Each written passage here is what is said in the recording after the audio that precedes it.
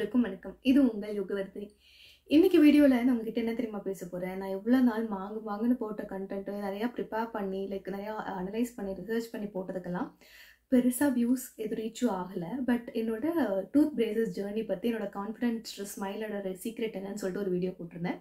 என்னோட personal experience share பண்ணியிருந்தேன். அதுக்கு பார்த்தீங்கன்னா பயங்கரமான ரெஸ்பான்ஸ் அண்ட் கமெண்ட்ஸும் என்ன நான் போட்ட யூடியூப்லேயே ஃபஸ்ட் டைம் லைக் அரௌண்ட் ஒரு ஐம்பது பேருக்கு மேலே கமெண்ட் பண்ணியிருந்தீங்க. ரொம்ப தேங்க்ஸ் ஸோ எல்லாருக்கும் நான் கமெண்ட்ஸில் வந்துட்டு நிறைய பேர் நிறைய கேள்வி கேட்டிருந்தீங்க. நான் அப்போதைக்கு சின்ன சின்ன ரெஸ்பான்ஸ் கொடுத்துருந்தேன். ஸோ ஐ தாட் இப்போ வந்து அதுக்கான டீட்டெயில்டு இன்ஃபர்மேஷன் கொடுக்கலாம் அப்படின்னு சொல்லிட்டு தான் இந்த வீடியோ ஸோ ஆக்சுவலி நான் லேப்டாப் தான் கையில் வச்சுருக்கேன். லேப்டாப்பில் பார்த்து உங்களுக்கு ரீட் பண்ணி காட்டுறேன். என்னென்ன கமெண்ட்ஸ்க்கு என்ன அப்படின்னு சொல்லிட்டு.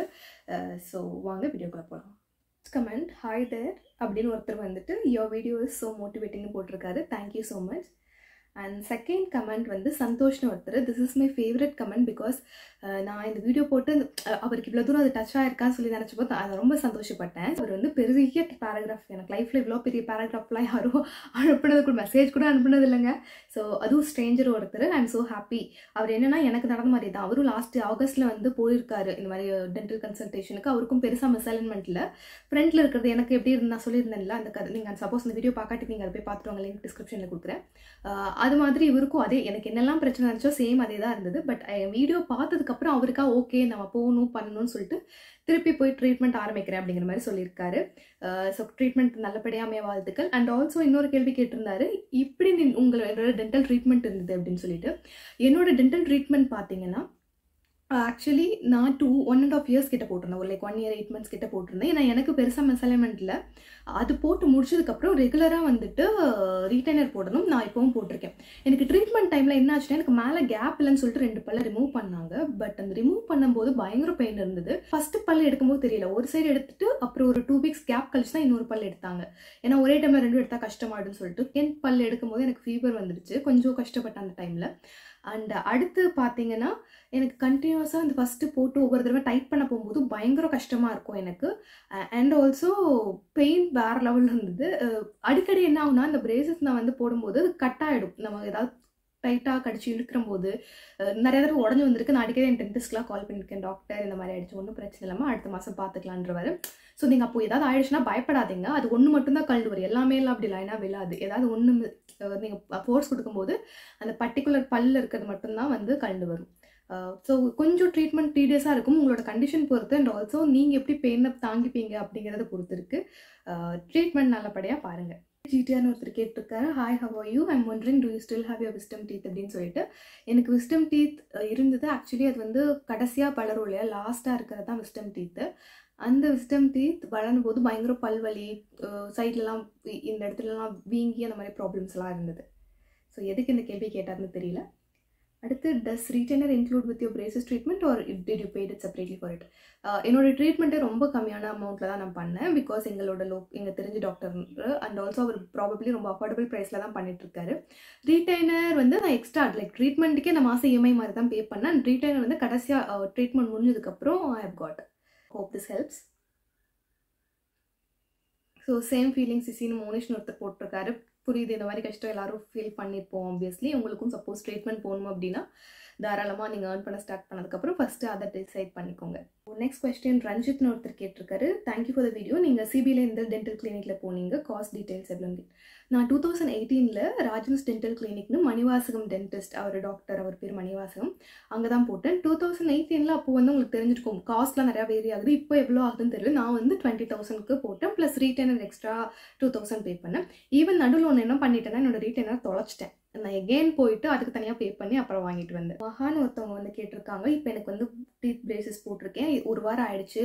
இப்போ வரைக்கும் என்னால் கஷ்டமாக இருக்குது சாப்பிட முடியல அப்படின்னு சொல்லிட்டு ஒரு வாரம் இருக்கா இன்னும் ஒரு ஒரு வாரம். சில பேருக்கு வந்து டக்குன்னு ஒன் வீக் டூ வீக்ஸில் சரியாயிடும். பட் உங்களுக்கு வந்து அதுவே பழகிடும்னு சொல்லுவேன் அந்த பெயின்லாம் நீங்கள் வந்து கொஞ்சம் மென்று சாப்பிட கடிச்சு சாப்பிடலாம் கஷ்டமாக தான் இருக்கும். அது ஃபஸ்ட்டு டைட் பண்ணிட்டு வந்த அடுத்த நான் வந்து சாப்பிடவே முடியாதனால வெறும் கஞ்சி ஜூஸ் அந்த மாதிரி தான் குடிச்சிட்டு இருந்தேன். ஸோ ஃபஸ்ட்டு ஒரு ஒன் ஆர் டூ வீக்ஸ் கஷ்டமாக இருக்கும். அப்புறம் அதே மாதிரி ஒன் ஹவர் சிட்டிங் நீங்கள் போகும்போது டைப் பண்ண போகும்போது உங்களுக்கு அது வந்து ஹார்டாக இருக்கலாம். அப்புறம் உங்களுக்கு பழகிடும். ரீடைனர்ஸ் எவ்வளோ இயர்ஸ் வரைக்கும் போடணும் அக்கா? ஸோ ரீடைனரும் வந்து பார்த்தீங்கன்னா என் ஃப்ரெண்ட்ஸ் நிறையா பேர் வந்து போட்டுட்டு ரீடைனர் வந்து ஒன் இயர்லேயே ஸ்டாப் பண்ணிட்டனால அவங்களுக்கு திருப்பியும் வந்து கேப் விழ ஆரம்பிச்சிருக்கு. எனக்கு அது வந்துடக்கூடாதுன்னு நான் என்ன பண்ணிட்டேன்னா நைட் டைம் போடுவேன். இல்லை நான் வெளியே போகும்போது போட மாட்டேன். வீட்டில் இருக்கேன். இல்லை நைட் டைம் தூங்கும்போது நான் கண்டிப்பாக மினிமம் எயிட் ஹார்ஸ் வந்து நான் போடுறேன். அரௌண்ட் ஒரு ஒன் இயர்க்கு மேலே போட்டுட்டு இருக்கேன் தெரியல. இது ரீடைனர் நல்லா இருக்கிற வரைக்கும் நான் போடுவேன். நீங்கள் வந்து உங்களால் எவ்வளோ நாள் எவ்வளோ வருஷம் முடியுமோ அது வரைக்கும் கண்டினியூ பண்ணுங்கள் அட்லீஸ்ட் நைட் தூங்கும்போது அது நெக்ஸ்ட் ஒருத்தவங்க தேங்க்யூ சிஸ் நான் ப்ரீசஸ் போடும்போது ஓகே நான் சொன்ன மாதிரி எனக்கு என்ன பிரச்சனைலாம் நடந்ததோ அதே மாதிரி அவங்களுக்கும் நடந்திருக்கு. இப்போ ரொம்ப பயந்துட்டே யூடியூப் பார்த்தாங்களா பட் என் வீடியோ உங்களுக்கு ஹெல்ப்ஃபுல்லாக இருந்ததுன்னு சொல்கிறாங்க தேங்க்யூ ஸோ மச் டீத் வந்து விழுந்துருமோ அப்படின்னு பயமாக இருக்குது அப்படிங்கிறாங்க. பில்லெல்லாம் செய்யாது கொஞ்சம் லூஸ் ஆன மாதிரி ஃபீல் ஆகும். ஏன்னா நமக்கு ப்ரெஷர் கொடுக்குது இல்லையா? இந்த மேலே போட்டிருக்க கம்பி வந்து உள்ளே தள்ளும் போது ஆப்வியஸ் அது ஆடுற மாதிரி கொஞ்சம் வீக்காக இருக்கிற மாதிரி ஃபீல் ஆகும் கொஞ்சம் ஹெவியாக இருக்கிற பொருளை கடிச்சு சாப்பிடலாம் பயமாக இருக்கும். அதனால அந்த மாதிரி பொருள்லாம் கொஞ்சம் சாப்பிட்ற ஐட்டம் அவாய்ட் பண்ணிக்கோங்க. இந்த சிக்கன் லெக் பீஸ்லாம் இப்படி கடிச்சு இழுத்து சாப்பிடும்போது இந்த எலும்புலாம் கடிக்கும் போது கொஞ்சம் பார்த்துருங்க ஸோ பட் பல்லெல்லாம் விழாது. அதுக்கு வந்து கொஞ்சம் மூமெண்ட்டில் இருக்கும் ஏன்னா அது வந்து முன்னாடி இருக்கிறத நம்ம வந்து போஸ் கொடுத்து உள்ள தட்டுறோம் ஸோ அதனால் உங்களுக்கு வந்து அந்த மாதிரி ஃபீல் ஆகலாம். I want to try clear aligners okay clear aligners வந்து நிறையா காஸ்ட்ல இருக்குது ஆன்லைன்லாம் பார்த்தீங்கன்னா சிக்ஸ்டி செவன்ட்டி தௌசண்ட் ஆகுது. பட் எக்ஸாக்டாக நீங்கள் வந்து டென்டல் கிளினிக் போய் பார்த்தீங்கன்னா தான் உங்களுக்கு எவ்வளோ ரேட்னு தெரியும். Uh, பைதவே இந்த இன்ஃபர்மேஷன்ஸ் எல்லாமே என்னோட எக்ஸ்பீரியன்ஸில் நான் சொல்லிட்டு இருக்கேன் நீங்கள் எதுனாலும் உங்கள் டென்டிஸ்ட்டை போய் கன்சல்ட் பண்ணிக்கோங்க. டென்டல் கிளினிக்கோட டீட்டெயில்ஸ் சில பேர் கேட்டிருக்கீங்க. அதையும் வந்து நான் வந்து டிஸ்கிரிப்ஷனில் அட்டாச் பண்ணுறேன் செக் பண்ணிக்கோங்க. டாக்டர் இஸ் வெரி ஸ்வீட் அதே மாதிரி ரொம்ப அஃபோர்டபுளான ப்ரைஸ் நீங்கள் கோயம்புத்தூர்ல இருந்தால் டாக்டர்கிட்ட பாருங்கள் இது டாக்டருக்கான ப்ரொமோஷன் வீடியோ இல்லை. நான் வந்து பணம் கட்டி தான் அங்கே ட்ரீட்மெண்ட் எடுத்தேன். Uh, அண்ட் ஆல்சோ எனக்கு அவர் கமிஷனும் கொடுக்க போகிறது கிடையாது. ஜஸ்ட் நீங்களாம் கேட்குறதுனால நான் சொல்கிறேன் ஸோ ஒருத்தவங்களுக்கு வந்து ஒன் அண்ட் ஆஃப் ஓகே அவங்க வந்து ஒன்றரை வருஷம் போட்டுமே உங்களுக்கு திருப்பி வந்து ப்ராப்பராக அலைன் ஆகலைன்னு சொல்கிறாங்க அதுக்கு வந்து டாக்டர் தான் பார்க்கணும். மேபி உங்களோட கண்டிஷன் வித்தியாசமாக இருக்கலாம். ஸோ நீங்கள் டாக்டர் மறக்காமல் கன்சல்ட் பண்ணி பாருங்கள் ஏதாவது லைக் டென்டிஸ்ட்டே போய் கேளுங்க என்ன ரீசன் அப்படின்னு சொல்லிட்டு ஒவ்வொருத்தவங்களுக்கு ஒவ்வொரு பர்டிகுலர் ரீசன்ஸ் இருக்கலாம். அண்ட் சில பேர்லாம் வந்து எவ்வளோ மந்த்ஸ் எல்லாம் போடணும்னு கேட்குறீங்க? அது எனக்கு எப்படிமா தெரியும்? நான் டாக்டர் கிடையாதுல நான் நான் வந்து ஃபாலோ பண்ண ரொட்டீன் ஒன்றரை வருஷத்துக்கு அப்புறம் எடுத்துட்டு ரெகுலராக எனக்கு கண்டினியூ பண்ண சொன்னார். ஃபஸ்ட் ஒரு சிக்ஸ் மந்த்ஸ் வந்து ஃபுல் டைம் போட சொன்னார். சாப்பிடும்போது ப்ரஷ் பண்ணும்போது மட்டும் கழட்டி இது பண்ணிப்பேன் க்ளீன் பண்ணிப்பேன். அண்ட் அடுத்து வந்து பார்த்தீங்கன்னா கண்டினியூவாக போடுறது போடாது உங்கள் இஷ்டம். அதெல்லாம் உங்களுக்கு அதாவது கேப் விழக்கூடாது அப்படின்னா உங்களால் எவ்வளோ மேக்ஸிமம் முடியுமோ அவ்வளோ போடுங்க. ஏன்னா கண்டிப்பாக ரீட்டர்னர் போடுறத ஸ்டாப் பண்ணி நானே வந்து ஒரு நாலு நாள் டூர் ஏதாவது போகும்போது இந்த மாதிரி கழட்டி வச்சுட்டு போயிட்டேன் அப்படின்னு வைங்களேன் ரிட்டர்ன் ஏன்னா வெளியே போகும்போது இதெல்லாம் வந்து கொஞ்சம் அன்கம்ஃபர்டபுளாக இருக்கும். ஒரு தடவை சாப்பிடும்போது எடுக்கணும் அதனால் நம்ம வெளியே இருக்கும் போது என்னால் போட முடியாதுன்னு நான் கழட்டிட்டேன்னா நாலு நாள் கழிச்சு வந்து பார்த்தா எனக்கே வந்து ஃப்ரெண்டில் கொஞ்சம் முன்னாடி வந்த மாதிரி ஃபீல் ஆகும். அது ஆப்வியஸாக வரும். ஏன்னா நீங்கள் மற எவ்வளோ நாள் போடுறீங்களோ அது உங்களோட சேஃப்டிக்கு நல்லது. சிக்ஸ் மந்த் நான் பிரேஸ் போடுறேன். என்னோட ஸ்டடீஸ் இருந்தாலும் அஃபெக்ட் ஆகும் அப்படின்னு. நீங்கள் டுவெல்த்து போர்டு எக்ஸாம்ஸ் வச்சுருக்கீங்க அப்படின்னா நான் வந்து சஜஸ்ட் பண்ண மாட்டேன். சில பேருக்கு ஃபீவர் வரலாம். கொஞ்சம் தான் கஷ்டமாக இருக்கும். அது அதே வந்து அது அதை பற்றின கான்சன்ட்ரேஷனே ஓடிட்டுருக்கும் ஸோ ரொம்ப இம்பார்ட்டண்ட்டாக உங்களுக்கு ஸ்டடீஸ்லாம் இருந்தால் அதை ஃபோக்கஸ் பண்ணுங்கள் அதை முடிச்சுட்டு கூட நீங்கள் இதை போட்டுக்கலாம். கொஞ்சம் நீங்கள் ஃப்ரீயாக இருப்பீங்க. உங்களுக்கு நிறையா ஸ்ட்ரெஸ் டென்ஷன் இருக்காது அப்படின்னா அந்த டைமில் டென்டல் பிரேசஸ் வந்து ஆஃப் பண்ணிக்கோங்க. இப்போ எவ்வளோக்கா இந்த ட்ரீட்மெண்ட்டுக்கு வருவோம்? நான் வந்து ஃபஸ்ட் இயர் ஸ்டூடெண்ட்டு நான் வந்து ஏர்ன் பண்ணி தான் போடணும் அப்படின்னா ஐ மீன் நீங்கள் அப்போ வந்து இந்த ட்ரீட்மெண்ட்டை பார்க்குறத விட உங்களுக்கு ஜாஸ்தியாகவே சம்பளம் வரும் கண்டிப்பாக முத்து பாண்டியன் ஒருத்தவங்க. ஸோ கம்மியான ட்ரீட்மெண்ட் அப்படின்னா நீங்கள் சில கவர்மெண்ட் ஹாஸ்பிட்டல்ஸ் இல்லைன்னா இந்த டென்டல் காலேஜஸ்லலாம் பண்ணுவாங்க. பட் அது ரொம்ப டைம் கன்சியூமிங் உங்களுக்கு வந்து ஒரு நாளே போச்சு. ஒரு செக்அப் போனீங்கனாலே ஒரு நாள் ஃபுல்லாக உட்கார வச்சுருவாங்க. அதில் கொஞ்சம் கம்மியான அமௌண்ட்டு அதெல்லாம் இருக்கும். டென் எஸ்பெஷலி நான் வந்து ஒரு டென்டல் காலேஜ் போனேன். பட் எனக்கு பொறுமை இல்லை அதனால் வந்துட்டு வந்துட்டேன். நான் காலேஜ் பேர் சொல்ல விரும்பல. அது சென்னையில்.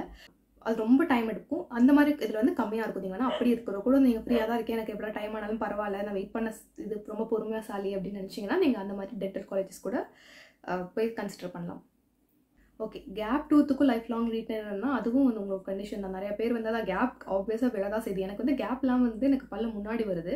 ஸோ கேப் இருக்கிறவங்களுக்கு நீங்கள் ரிட்டர்ன் போடாமல் விட்டால் கேப் மறந்த கேப் திருப்பி வரக்கூட ஸ்டார்ட் ஆகலாம். ரீட்டைனரே ரெண்டு வருஷம் போட்டுட்டு அதே மாதிரி டாக்டர் சொல்லும்போது எடுத்துட்டிங்கன்னா பர்மனெண்ட்டாக சே கரெக்டாக இருக்குமான்னு கேட்டால் கிடையவே கிடையாது.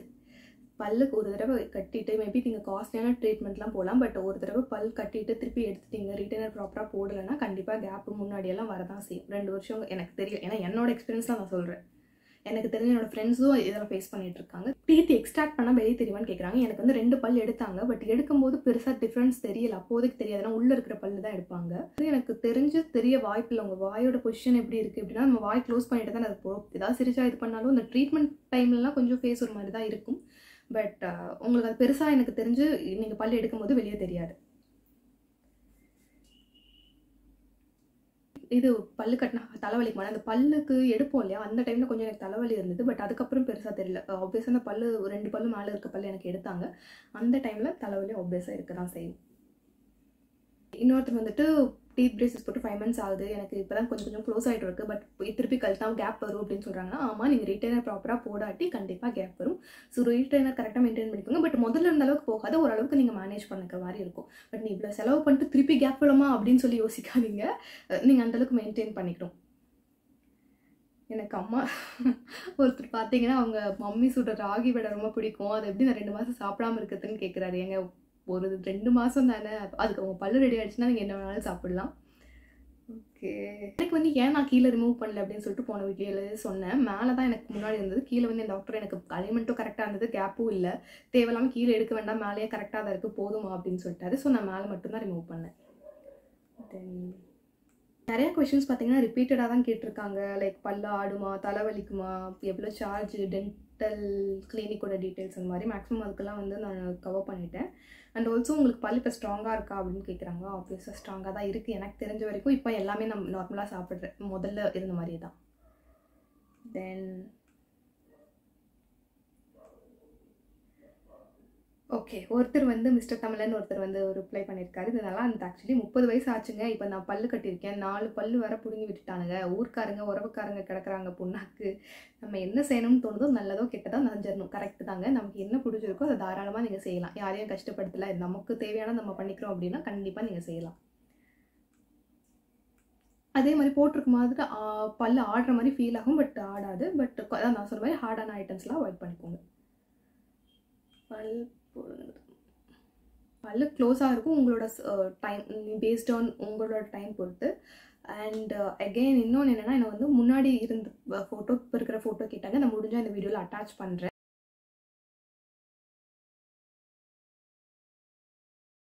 இந்த வீடியோ உங்களுக்கு ஹெல்ப்ஃபுல்லாக இருந்திருக்கும்னு நினைக்கிறேன். நான் வந்து டென்டிஸ்ட் கிடையாதுங்க. நீங்கள் வந்து நிறைய கேள்வி என்கிட்ட கேட்டிருக்கீங்க. மேக்ஸிமம் அதோட ஆன்சர்ஸ்லாம் வந்து என்னோட எக்ஸ்பீரியன்ஸ்லேருந்து தான் கொடுத்துருக்கேன். பட் நீங்கள் ஒரு நல்ல டென்டிஸ்ட் போய் பார்க்குறது உங்களுக்கு நல்லது. அண்ட் ஆல்சோ எல்லாரும் கான்ஃபிடென்ட்டான ஸ்மைலோட இருக்கிறதுக்கு வாழ்த்துக்கள்.